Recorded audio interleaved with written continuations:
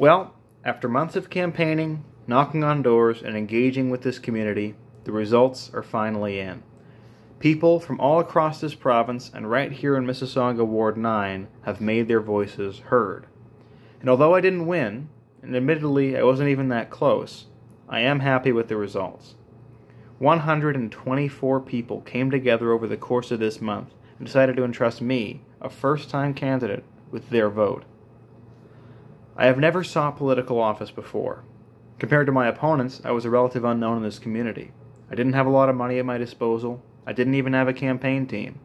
Most days, it was just me by myself on the campaign trail, knocking on doors and having real conversations with people like you about what our city can look like in the future. Even though I always hoped to win, I knew that the odds were against me. I cannot thank the 124 people who voted for me enough for their support. Just six short months ago, when I first got the crazy idea to run for council, I never believed that so many people, many of whom I had never even met before, would listen to what I have to say, and not just listen, but actually vote for me, even when there were so many quality candidates running against me. I think that says something. And even though the dust is settling on this race, I think it's clear that many people in this community, whether they voted for me or not, are still looking for new leadership and a strong vision for our city. I think that's what resonated with the people who did vote for me. Certainly, that's why I got involved in this in the first place. I'd like to extend my sincere congratulations to the man who did win this race, Martin Reid. I only met Martin a few times on the campaign trail, but those encounters were very meaningful to me.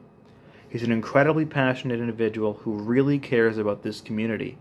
I know that he'll be an excellent representative for the ward in the years to come, and that his victory tonight was well earned.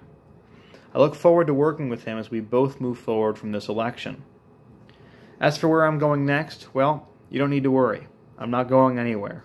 Running this campaign has taught me so much about our community and helped me develop many invaluable skills that I hope to use to keep giving back to this city in any way that I can. I'm still just as passionate about the issues I raised in this campaign today as I have been for the last few months, and I plan to work with the council, the city, and the community to keep fighting for a new vision, for new ideas, and new solutions. This, I think, is only the beginning.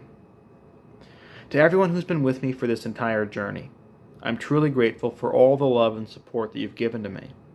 I couldn't have gotten anywhere near as far as I have without you. Thank you all, and God bless.